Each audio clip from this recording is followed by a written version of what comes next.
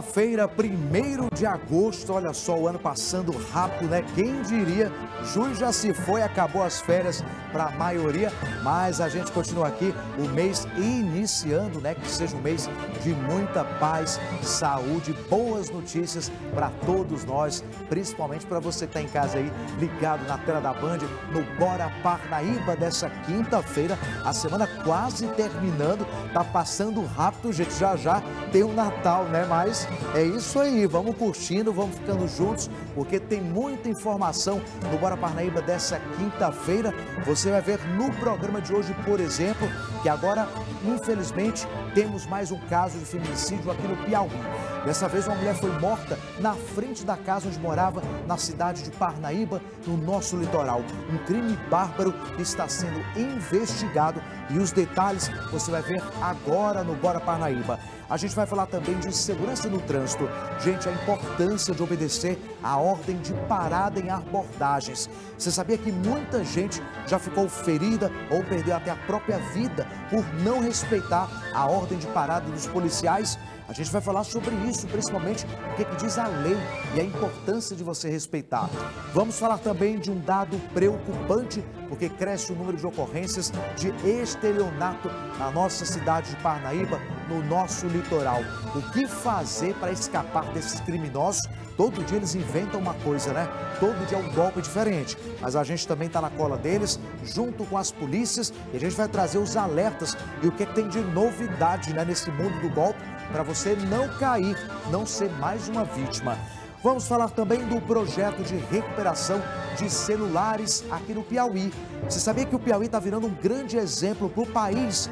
Olha só, esse projeto criado aqui no Piauí já vai ser expandido para 11 estados brasileiros. É o Piauí servindo de exemplo aí no combate à criminalidade, principalmente no roubo e furtos de celulares. Vamos mostrar também sucesso na nova maternidade Dona Evangelina Rosa, que fica na nossa capital e está completando um ano. A maternidade atende mulheres grávidas de todo o Piauí. E nesse um ano de inauguração, só boas notícias é o que a gente vai mostrar para você de casa também. Infelizmente, tem graves acidentes no nosso estado que terminou com a vida de pessoas. A gente vai falar também sobre isso e fazer um alerta. Isso é só um pouquinho do que você vai ver hoje, nessa quinta-feira, no Bora Parnaíba, aqui na tela da Band. Está só começando. Fica aí ligado com a gente.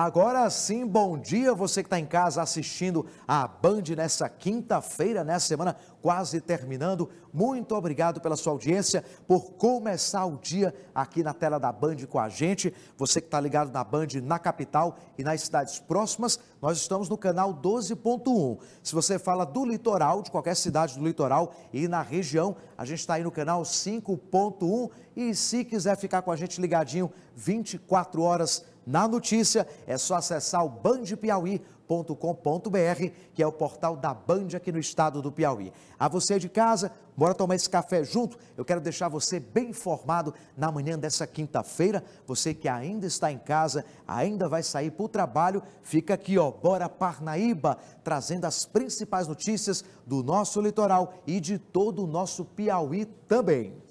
Bora começar com essa notícia, porque agora, infelizmente, nós temos mais um caso de feminicídio registrado no Piauí. Dessa vez, foi uma mulher que foi morta na frente da casa onde morava, na cidade de Parnaíba. Um crime bárbaro que aconteceu praticamente ali, na frente dos vizinhos de pessoas de todas as idades. Foi por volta das 8h20 da noite que a doméstica Francisca Maria de Freitas Rodrigues, de 44 anos, foi morta. O crime aconteceu na rua Luiz Correia, no bairro Mendonça Clark, em Parnaíba. A vítima estava sentada em frente à sua residência. Segundo a polícia, um homem em uma motocicleta se aproximou da vítima e atirou duas vezes contra ela. Ainda de acordo com a PM, o alvo dos criminosos não era mulher, mas sim um de seus filhos. A Polícia Civil deve investigar o caso. O corpo foi removido para o posto avançado do Instituto Médico Legal. E olha, agora infelizmente não é uma boa notícia também, porque outra mulher morreu e outras quatro pessoas ficaram feridas em um grave acidente no quilômetro 532, que fica na BR 343, na cidade de Amarante, a 169 quilômetros ao sul de Teresina. Segundo a Polícia Rodoviária Federal, foi uma colisão frontal entre dois veículos e a mulher que morreu teria ficado presa às ferragens. O Serviço de Atendimento Móvel de Urgência, o SAMU, foi acionado para socorrer os feridos. Uma equipe da Polícia Rodoviária Federal e o Corpo de Bombeiros de Floriano foram até o local para realizar os procedimentos cabíveis, como retirar a vítima, que ficou presa nas ferragens, e os feridos foram encaminhados para o Hospital de Amarante. E olha, a Diretoria de Operações de Trânsito, falando nisso, reforça a importância de obedecer a ordem de parada em abordagens do trânsito. Você sabe o que é isso? É aquele momento quando você passa por uma blitz, por alguma maneira você se assusta, às vezes você está até com o documento atrasado e termina não parando na blitz. E isso ocorre, sabe o quê? Possíveis fugas e coloca em risco a vida de pessoas que não param, que não fazem, que não respeitam o policial, a ordem dada pela polícia. Isso ocorreu, inclusive, na semana passada, quando um motociclista fugiu de uma blitz. O garupa da motocicleta gravava uma live nas redes sociais no momento da perseguição. Eles fugiam de uma abordagem da GCM, na rua Rui Barbosa, no bairro São Joaquim. Aos 20 segundos de transmissão, o momento exato em que o piloto perde o controle da moto e cai.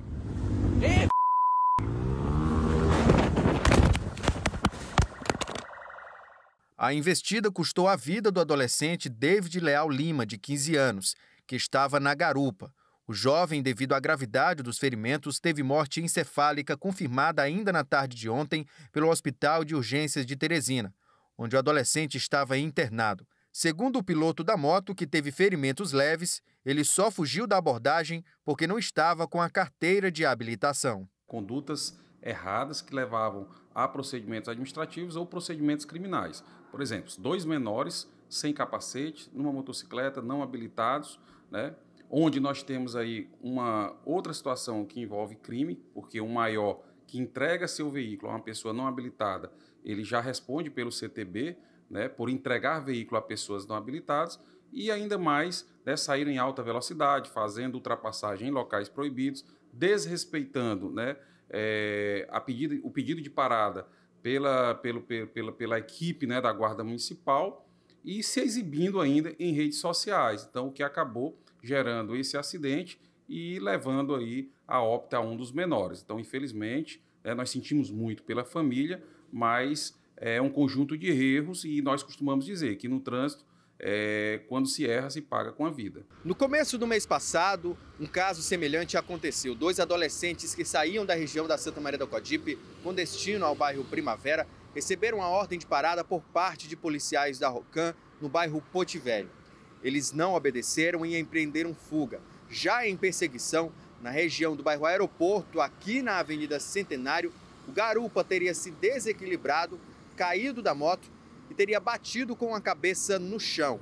Segundo o relatório feito pela equipe da Rocam, os dois adolescentes estavam sem o uso do capacete e o piloto teria alegado que só não parou a moto porque estava sem a carteira de habilitação. Marcos Henrique das Chagas Almeida era quem estava na garupa da moto. O SAMU foi acionado até o local, mas constatou que o jovem estava morto. Fernando reforça a importância de obedecer a ordem de parada em abordagens no trânsito. O que nós orientamos à população é que, ao avistarem uma blitz ou forem solicitados por qualquer equipe policial é, um pedido de parada, é que, na verdade, é, reduzam a velocidade de seus veículos. Se for no caso de um carro, né, que se ligue à luz interna do veículo e obedeça né, a autoridade policial que está ali presente, né, apresente o documento pessoal e o documento do veículo. Bora fazer um intervalo rapidinho, tomar uma água, um café. Na volta a gente vai falar, sabe de quê? Golpe, tem novo golpe na praça e a gente está fazendo de tudo para você não cair.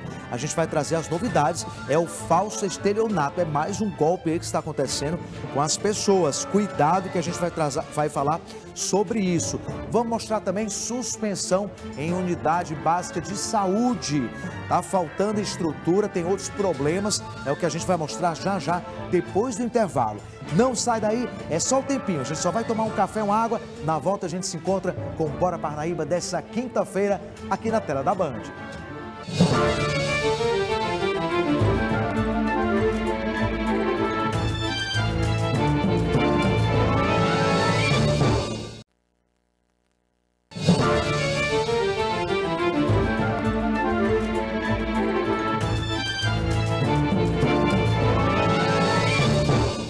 Estamos de volta com Bora Parnaíba dessa quinta-feira aqui na tela da Band. A você de casa que está acordando, bom dia, né? Muito obrigado pela audiência, pela sua companhia nessa quinta-feira, 1 de agosto. Quem diria, né? O ano está passando tão rápido que a gente não está nem sentindo, né? Quase acabando. Já já está chegando aí Réveillon, Natal antes, né? Até o Carnaval. Tá rápido, viu? Então aproveita, vai curtindo aí o ano enquanto dá tempo. Você que acabou as férias tem um mês novo começando hoje, né? Agosto. Você vai pegar o nosso litoral, vai passear no nosso Piauí, vai lá para o sudeste do estado, na Serra da Capivara. Tem tanta coisa boa, né, para se fazer. Tem Pedro II, nossa terra da Opala. Tem o que mais, hein? Tem Campo Maior com a carne de sol. Tem a cidade de Barras, né, com tantas cachoeiras, rios para lá. Então aproveita aí que o Piauí é bonito demais e merece assim ser visitado, né?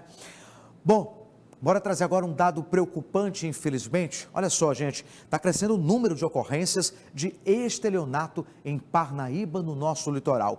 Bora conversar com o Léo Marques, que tem mais detalhes, ele que vai falar com especialistas e vai trazer esse alerta para a gente, principalmente para você de casa não ser mais uma vítima nesse tipo de golpe. Oi, Léo, bom dia.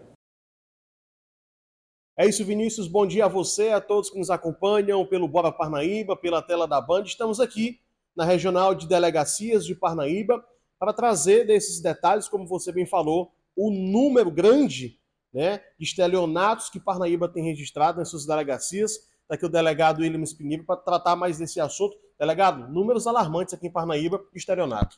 É, nós tivemos uma, uma crescência no número de estelionato, né? isso é visível pelos nossos números. A gente teve uma decadência no número de roubo e de furto. A gente fez um combate, está fazendo esse combate, nós estamos diminuindo. Compensação, nós temos a questão do estelionato. Para você ter uma ideia, nós hoje, fechamos hoje, agora, de 1 de janeiro até hoje, nós tivemos 2 mil, uma média de 2.400 BOs registrados na delegacia de crimes contra o patrimônio. Desses 2.400 BOs dessa média, 904 BOs foram estelionato. Então, nós temos uma média para cima de 50%, porque dos 2.400 BOs, nem todos são de crimes, né? Tem perda de documento e tem outras situações, acidentes, que não são crimes, são fatos atípicos que as pessoas resistam aqui por outros fins civis, civis que queiram resolver. Então, a gente tem essa crescência do número do estelionato. A nossa campanha, estamos em campanha, que eu digo isso, pedindo à população. Isso a gente precisa trabalhar diretamente com a população. As pessoas que estão ouvindo a gente, que tenha toda uma atenção para não cair nesses golpes para que todos tenham ideia. Problema de banco, vai ao banco, resolve o seu problema. Entrou em contato com você, esqueça, não se preocupe. Se a conta deu problema, não tem problema. Se levar o seu dinheiro lá, não tem problema, o problema é do banco. Sua conta está lá quietinha, você tem suas senhas. Você vai no banco, conversa com o seu gerente, você resolve o seu problema. Ele vai lhe informar. Envolveu pedido de dinheiro, fez ali, ligou para você, se camuflando como parente, para, pensa, entre em contato com o parente, procura o parente que você resolve o seu problema. Não vai cair nesse golpe. O outro, tem uma pessoa, está vendendo veículo, está vendendo um moto ou carro, conheça o proprietário, conheça o veículo, vá ao Detran, verifica se o carro existe, verifica se o dinheiro que você vai depositar, o Pix vai ser depositado ou a conta é a conta corrente do próprio proprietário do veículo ou de algum familiar que ele traga e prove o documento para que você se defenda disso depois. Que aí o proprietário, não, tá aqui, eu depositei numa conta que você indicou, não é?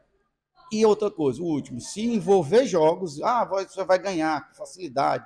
Investimento, é só você dizer, olha, não tem facilidade. Você vai cair no golpe que não existe esse negócio de ganhar dinheiro fácil, não. Obrigado, delegado, pelas suas informações. Deixando os detalhes e os cuidados para você, amigo telespectador de Parnaíba e de todo o Piauí. Fica ligado aqui na tela da Band com essas orientações aqui da delegacia de Parnaíba Regional com o delegado William Pinheiro.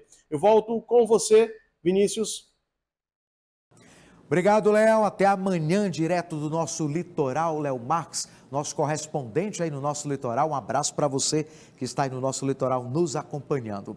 E olha, o Conselho Regional de Enfermagem aqui do Piauí determinou a interdição ética dos serviços de enfermagem lá da Unidade Básica de Saúde do bairro Bela Vista Rural, que fica localizado em Teresina. Com a interdição, os profissionais de enfermagem que atuam na unidade ficam proibidos de executar as atividades. A decisão é resultado da constatação de insegurança técnica que, segundo o Corém, representa risco à integridade física de profissionais e pacientes. Foi constatada que a unidade não dispõe de lavatório adequado, o que compromete a higienização das mãos pela equipe de profissionais.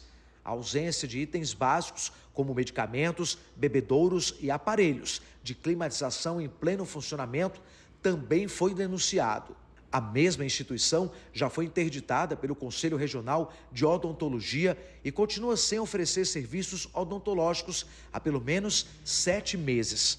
As inspeções foram iniciadas no mês de março deste ano, com visitas de retorno ao mês de julho, que constataram a persistência das inconformidades e levaram o plenário do Conselho a optar pela interdição ética. Bora fazer um rápido intervalo comercial? Na volta a gente vai falar, sabe de quê, gente? De celulares recuperados. Esse projeto que acontece aqui no Piauí, de blitzing, de fiscalização, de recuperação, está virando referência para todo o país. Já tem vários estados brasileiros que vão adotar esse projeto que foi desenvolvido aqui no estado do Piauí. Nós vamos falar também do aniversário de um ano da maternidade, da nova maternidade, né? Dona Evangelina Rosa. Um ano e milhares de atendimentos realizados aqui no estado do Piauí, com tecnologia de ponta, ajudando as nossas futuras mamães. Já já, depois do intervalo, eu vou trazer isso e muito mais aqui no Bora Parnaíba. Não sai daí.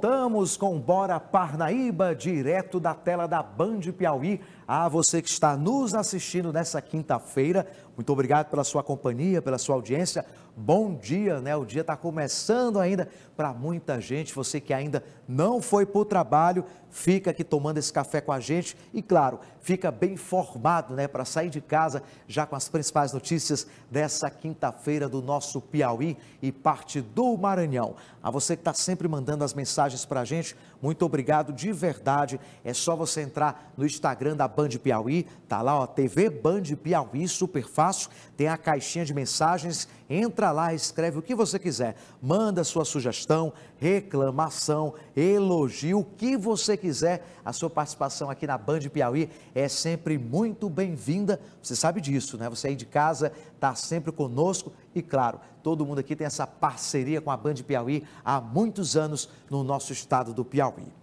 Agora, olha, olha só que boa notícia, gente. Quero abrir, abrir esse bloco com esse grande exemplo, porque esse projeto de recuperação de celulares aqui do Piauí está virando referência para o país inteiro e vai se expandir para 11 estados brasileiros. Você já ouviu falar essa questão de celulares roubados no nosso estado, que são recuperados através desse projeto que está fiscalizando nas Blitzen em parceria com todas as polícias? Olha aí que boa notícia. O programa colocou o Piauí como protagonista no combate ao roubo e furto de celulares. De acordo com a Superintendência de Operações Integradas da Secretaria de Segurança do Piauí, além dos mais de 7 mil aparelhos apreendidos e mais de 5 mil recuperados nos cinco primeiros meses deste ano, houve redução de 42% de roubo de celulares no estado em comparação ao mesmo período do ano passado e um aumento de quase 200% na retenção de celulares, o que vem chamando a atenção no país. O nosso projeto celular ficou nacionalmente conhecido pela sua eficácia, tanto na recuperação de aparelhos como na diminuição da criminalidade. Já recebemos a visita de 18 estados da federação para conhecer em loco o nosso projeto. Inclusive, o Ministério Público da Argentina também já entrou em contato para ser implementado o projeto no respectivo país. O projeto de recuperação de aparelhos será implementado pelo Ministério da Justiça e Segurança Pública nesta quinta-feira, com a assinatura do acordo de adesão de 11 estados ao Protocolo Nacional de Atuação Unificada de Recuperação de Celulares.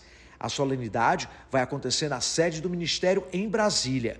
De acordo com o ofício expedido pelo Ministério da Justiça, além do Piauí, foram convidados para a solenidade os secretários de Segurança Pública dos estados do Acre, Alagoas, Amapá, Amazonas, Bahia, Rio Grande do Norte, Rondônia, Roraima, Sergipe e o Tocantins. As experiências alcançadas de forma positiva no Piauí vão ser apresentadas durante a solenidade pessoa que está na posse desse celular é, digite um código, asterisco Jogo da Velha 06. O Piauí tem sido pioneiro nesse tipo né, de busca. Nós escalamos em todas as blitz analistas que ficam na nossa base, é, com vários é, bancos de dados em aberto. Né, e nós enviamos esse e-mail para que eles façam ou realizem essa consulta.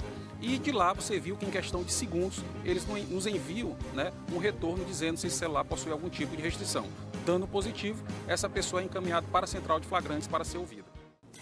E olha, falando em estado do Piauí, o governo do estado vai lançar logo mais um programa de incentivo ao empreendedorismo aqui no nosso estado. Esse é o nosso destaque dessa quinta-feira do portal da Band Piauí.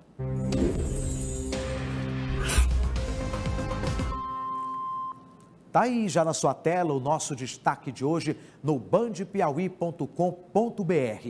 Essa iniciativa oferece microcrédito com taxas de juros acessíveis, além de prazo adequado e estimula também o empreendedorismo entre os beneficiários do cadastro único para os programas sociais do governo federal. Essa iniciativa, como está mostrando a nossa matéria, visa impulsionar o empreendedorismo no Brasil, especialmente entre os beneficiários do cadastro único, já que a maioria não consegue acesso ao crédito por falta de garantia. Quer saber mais informações? É só você acessar aí bandepiauí.com.br, é o portal da Band trazendo essa e todas as notícias dessa quinta-feira.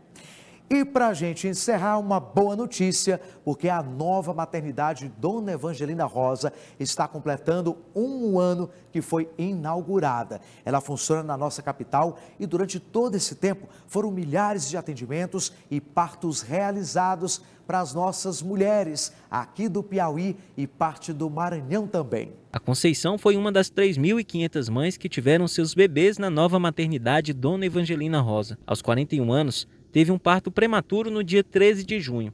Desde então, vem sendo assistida na maternidade e em breve vai estar em casa com sua filha. Desde o início eu já descobri que ia ser uma mãe prematura e desde lá é, eu sou acompanhada por aqui pela a maternidade de Dona Evangelina Rosa e desde o início toda é, por onde eu passei, fui bem atendida. Com um ano de atividade na nova estrutura, foram 45 mil atendimentos ambulatoriais no circuito materno e infantil, sendo referência em atendimento a gestantes e bebês de 0 a 2 anos de alto risco, com serviços especializados, custeados integralmente pelo SUS. A maternidade também tem conseguido índices positivos. Com a nova estrutura, em 12 meses, a mortalidade materna foi reduzida em 50% e a mortalidade infantil em 22% números que a administração da maternidade busca reduzir ainda mais. É, nesse ano a gente já contabiliza mais de 3.500 partos, a gente já contabiliza mais de 40 mil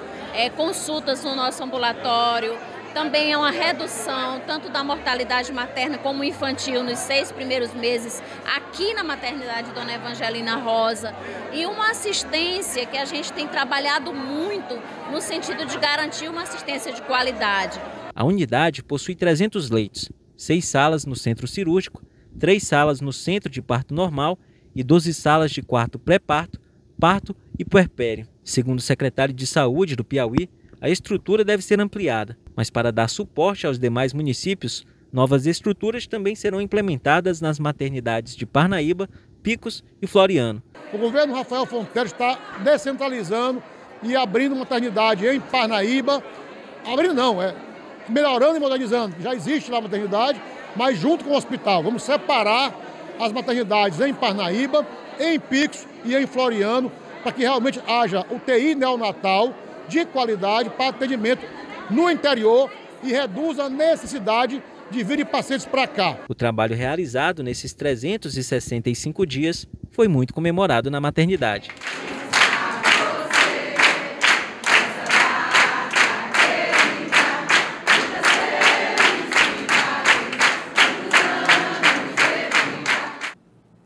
Legal, né? Então, para todos que fazem aí a nova maternidade Dona Evangelina Rosa, esse super complexo né, de saúde que funciona na nossa capital e atende todo o Piauí, o nosso abraço para toda a equipe aí da maternidade.